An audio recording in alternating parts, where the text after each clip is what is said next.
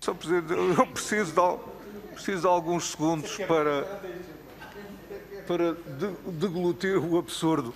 Eu gostaria também de cumprimentar o, o professor Poiares Maduro uh, e, enfim, de, de lamentar que tenha que intervir no meio desta confusão porque há uh, uma boa forma de não discutir o essencial, que é entulhá-lo de temas que não têm absolutamente nada a ver com a matéria, uh, como é o caso desta metáfora uh, entre, sobre progressistas e reacionários a partir da história da, da abolição da pena de morte em Portugal. É uma conversa, de facto, completamente distinta. Indo ao, ao assunto, eu creio que há, há, uma questão que para, para todos nós, juristas que estudaram as questões relacionadas com direitos fundamentais, uh, se impõe discutir com especial cuidado.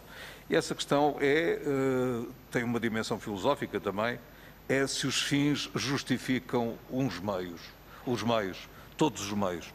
E, de facto, num Estado bárbaro, a resposta é clara e simples, sim, justificam. Uh, o grande problema é na qualificação dos fins como uh, e, de, de, como justificação para os meios. E uh, em matéria de transparência, uh, há de facto uma batalha em Portugal, tem havido, mas essa batalha tem que ser descrita com rigor histórico. A, a grande divergência nesta casa entre o PS e o PCP foi aliás antes do BEC que isto aconteceu, e o PST e o CDS, uh, eh, e foi uma divergência grande, uh, foi em torno, começou em torno do cumprimento da Constituição na parte uh, relativa à administração aberta. a norma constitucional ficou anos e anos por cumprir, não conseguíamos aprovar lei nenhuma, porque o PST sistematicamente rejeitava ou PSCPP, Uh, e o, o GPPSD, liderado por Duarte Lima e por Pacheco Pereira como vice-presidente, uh, resistiu ferozmente, como todos nos lembramos, ou alguns nos lembramos, uh, às iniciativas sobre declaração obrigatória de rendimentos e património. E foi ao fim de uma longa batalha que se conseguiu a primeira versão da lei, juntamente com a, legislação sobre administração aberta uh, e nesta matéria, uh, se podemos gabar-nos e orgulhar-nos de alguma coisa, é de ter levado a cabo a missão com uh, êxito tal que hoje em dia ninguém se atreve a lançar pedras ao edifício criado. Mesmo os que chegaram na 26ª hora dão isso como completamente necessário e adequado, etc, etc. É, é vida nessa matéria. Portanto, não, não levamos isso a mal, é a metáfora do filho pródigo, etc, etc. Agora, convém não exagerar, porque uh, as preleções da 26ª hora soam ou ao que são, arrogância, ou a disparate, que também são. Uh, e nesta matéria é preciso ter um misture uh, muito rigoroso para não ferir uh, a zona sensível, porque estamos a operar em zona sensível. E a zona sensível é que misture um pouco fora do sítio e estamos a incentivar a perseguição, a discriminação, a estrela de David aplicada a categorias de cidadãos. Eh, para não dizer a parvoíce, porque uh, temos que responder com honestidade à pergunta que o deputado Coelho Lima há bocado fazia, embora fizesse invertida. Devemos generalizar a toda a função pública as regras aplicáveis ao Conselho de Fiscalização do CIRP?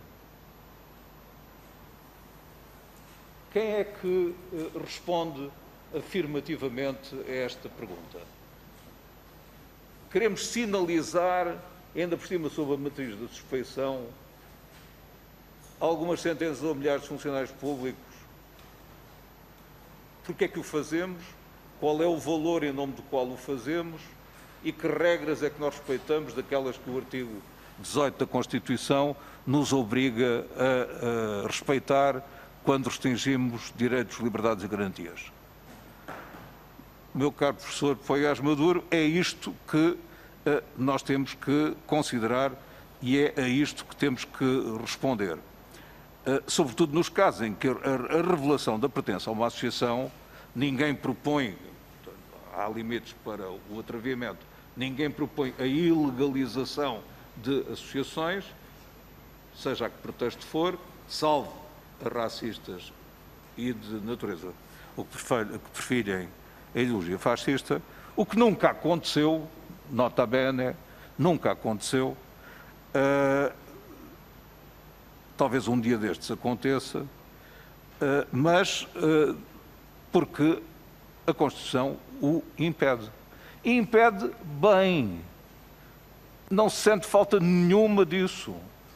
Sente-se falta de outras coisas. É só o tempo. Sente-se falta, conclui Sr. Presidente, da lei de enquadramento da atividade dos lobistas, que foi o tema a que dedicou grande parte da sua intervenção, a, lei, a legislação sobre publicidade do processo legislativo.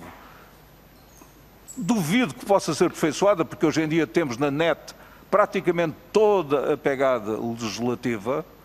Não temos as conversas de café, não temos almoços e jantares, não temos outras coisas com essa natureza, eh, mas temos rasto de contactos. E a Comissão de Transparência propõe-se investigar contactos entre deputados e entidades de caráter privado. É esse o ponto em que estamos.